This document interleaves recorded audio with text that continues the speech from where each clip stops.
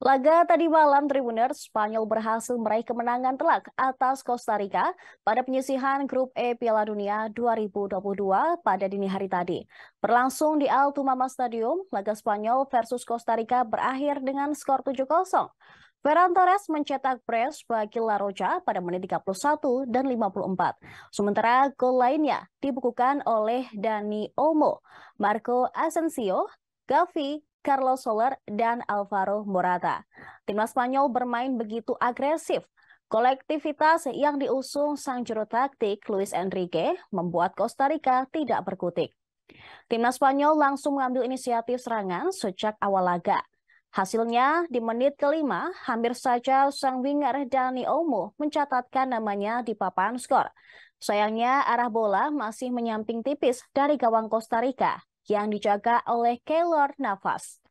Costa Rica memilih untuk bermain bertahan dengan lima back sejajar. Garis pertahanan yang mereka terapkan juga begitu dalam. Hal tersebut membuat Spanyol begitu leluasa menggempur pertahanan mereka. Dan benar saja, tepat di menit 11, La Roja mampu menjebol gawang Keylor Navas lewat sepakan Dani Olmo. Hal ini membuat skor berubah menjadi 1-0. Kemudian, menit 21, pemain milik Real Madrid, Marco Asensio, mencatatkan namanya di papan skor. Menyambut umpan manis Jordi Alba dari sisi kiri, Asensio menyambutnya dengan sepakan kaki kiri yang mengarah ke pojok kiri bawah gawang Costa Rica. La Roja semakin unggul 2-0 Tepat di menit 31, gol ketiga mampu diciptakan Ferran Torres lewat titik putih. Eksekusi sang winger berhasil mengecoh nafas yang tak mampu menebak arah tembakan. Timnas Spanyol makin jauh dengan skor 3-0. Hingga babak pertama usai, skor tersebut masih bertahan. Memasuki babak kedua, Spanyol bermain makin agresif dan membuat Costa Rica tidak bisa berbuat banyak. Ferran Torres mampu mencetak gol keduanya pada menit ke-55. Dengan cerdik, winger Barcelona itu mencuri bola dari bek Costa Rica dan melakukan eksekusi dengan kaki kirinya. La semakin menjauh dengan skor 4 gol tanpa balas. Luis Enrique pun memilih untuk mengistirahatkan para pemain andalannya. Marco Asensio, Ferran Torres, Pedri hingga Jordi Alba ia gantikan di menit 57 hingga 69. Pemain yang masuk ada Koke hingga Alvaro Morata yang mampu menjaga ritme permainan sebelumnya. Tiga menit setelahnya, giliran Morata yang mendapat peluang emas. Sayangnya, sentuhan akhir striker Atletico Madrid itu tidak sempurna hingga bola sepakannya melambung jauh ke atas. Tak mampu mencetak gol, Morata mampu menjadi penyuplai bola bagi gol yang diciptakan Gavi pada menit 75. Dan hal ini membuat skor berubah makin unggul 5-0.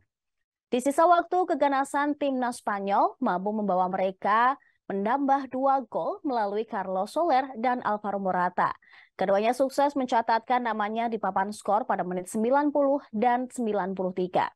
Hingga laga usai, La Roja sukses menang dengan skor mencolok 7-0. Dengan label tim unggulan, timnas Spanyol berhasil menggaung lantang pada laga pertamanya di Piala Dunia 2022.